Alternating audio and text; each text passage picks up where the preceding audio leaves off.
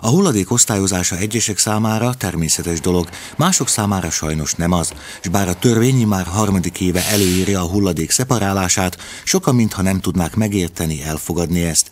Műanyagot a műanyaghoz, papírt a papírhoz, ennél érthetőbb útmutató talán nem is létezik. Mégis vannak, akik figyelmen kívül hagyják ezeket az előírásokat. V rodinnej zástavbe vykonávame zber separovaného odpadu tzv. vrecovým systémom. A családi házas övezetekben úgynevezett zsák zsákolós módszerrel végezzük a hulladékgyűjtést, azaz havonta egy alkalommal, vagy négy hetente autók járnak itt, hogy begyűjtsék a kihelyezett zsákokat, melyek helyett újakat kapnak tőlünk, mégpedig négyet. Ez a módszer bevált, legalábbis ami a zsákok tartalmának a tisztaságát, homogenitását illeti. Žiaľ Bohu na sídliskách, tam, kde máme e, umiestnených 63 kontajnerových stanovišť, tzv. Sajnos a lakótelepeken, ahol 64 konténerállást helyeztünk el, külön a papír, a műanyag és az üveghulladék részére rosszabb a helyzet, mivel gyakran a meghatározott tartalmú konténerbe más jellegű hulladék kerül, így annak kiürítését már nem lehet a szeparált hulladékszállítás elvei alapján megtenni.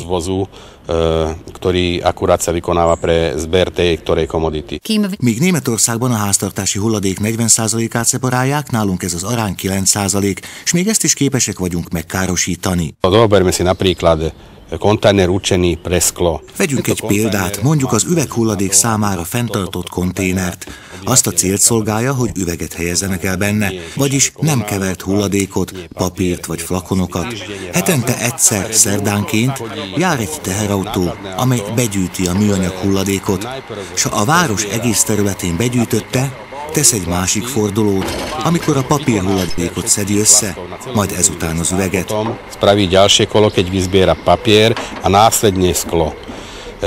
Sajnos megtörténik, a lakók is jelentik, hogy valamelyik konténer nem volt kiürítve, vagy pedig még azelőtt ürítette ki az a teherautó, amelyik a vegyes hulladékot szállítja és ez éppen amiatt van, mert az ellenőrzés, szemrevételezés után munkatársaink megállapítják, hogy az adott konténerben nem az a hulladék van, melynek lennie kéne, és ha ezt a szemetet abban az autóban helyeznék el, melynek éppen más hulladékot kéne szállítania, azzal értéktelenné tenné a teherautó tartalmát, és a hulladék átvevője sem venné át tőlük. E. Vélhetően a lustaság az oka, pedig az eredmények sokkal hatékonyabbak lennének. Máme s tým veľké náklady, jednak čo sa týka tzv. doseparácie e, nákladu týchto vozidiel. Mindez nagyon költséges. Egyrészt az utószeparálás miatt, másrészt veszít a hatékonyságából is.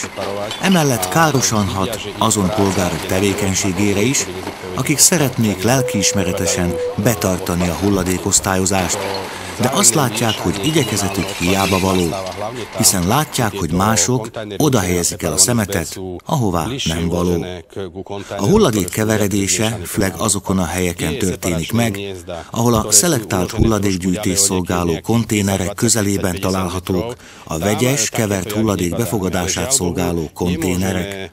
A 20-30-50 méterre, azaz távolabb elhelyezett konténerek esetében nem találkozunk ilyen gondokkal, de sajnos helyhiány miatt nem helyezhetjük el ezeket a konténereket távol a többitől. 2012-ben több mint 120 tonna üveget szeparáltunk, ami nagyon jó eredménynek számít. 47 tonna papírt és 43 tonna műanyag hulladékot. Összesen 15 ezer tonna kommunális hulladékot gyűjtöttünk be, de tudatosítani kell, hogy a szelektív hulladékgyűjtés még mindig nincs olyan szinten Szlovákiában, mint szeretnénk. Talán éppen a most elmondott esetek, példák miatt is. Ďalej by som chcel upozorniť obyvateľov, že drobný stavebný odpad, ktorý... Azt is el szeretném mondani, hogy az apró építkezési hulladék, amely főleg a lakás átépítéskor keletkezik, nem a kommunális hulladék tárolására szolgáló konténerekbe való. Az érvényes általános érvényű rendelet alapján ez a fajta hulladék nem kerülhet a konténerekbe, és nem helyezhetők el azok közelében sem. Ezt a fajta hulladékot elszállíthatják a gyűjtőudvarba, vagy pedig meg kell állapodniuk a lakás átépítést végzőkkel, hogy biztosítsák a hulladék elszállítását. Azzal, hogy a lakosok ezeket az építkezési hulladékokat a konténerekbe teszik, azzal növelik a hulladékszállítással kapcsolatos kiadásokat. És ezzel akaratlanul is növelik azokat a kiadásokat is, melyeket havonta számolnak ki valamennyi polgár számára. na nakladanie s komunálnym odpadom a nepriamo zvyšujú potom aj tie budúcoročné platby, ktoré sa určujú paušálne pre každého obyvateľa.